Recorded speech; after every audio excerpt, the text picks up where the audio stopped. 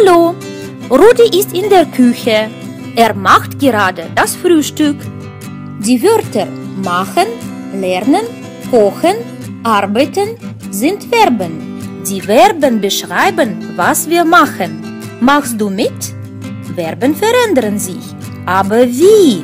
Also, nehmen wir mal das Verb kochen. Uliana kocht Kaffee. Sie kocht Kaffee. Papa kocht Kaffee.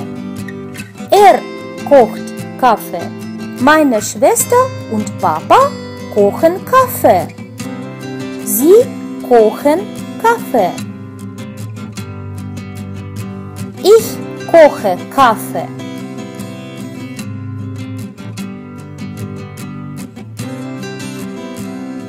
Und was ist mit Grundform von kochen? Richtig, die Endung ändert sich. Der Verbstamm bleibt doch immer gleich. Schau, das ist der Verbstamm.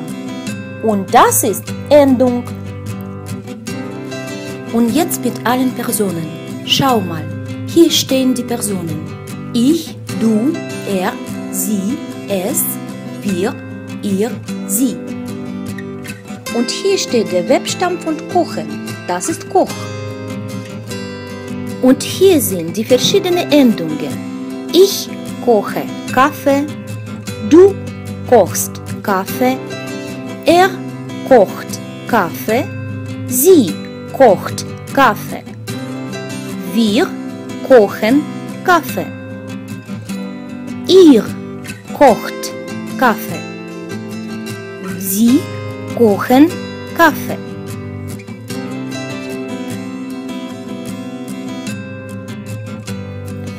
Ich wiederhole. Verben verändern sich am Ende. Das Ende zeigt die Person an. Das üben wir jetzt mal. Ich mache das Frühstück. Du machst das Frühstück. Er macht das Frühstück. Sie macht das Frühstück.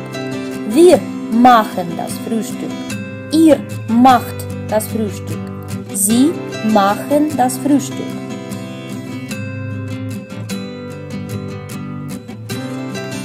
Der Verbstamm mach verändert sich nicht, aber die Endungen sind genau wie bei Kochen.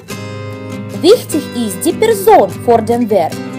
Du oder deine Oma oder deine ganze Klasse. Ich, du, er, sie, es, wir, ihr, sie. Der Verbstamm ist immer gleich und die Endung verändert sich immer gleich. Ich sage Tschüss, bis bald.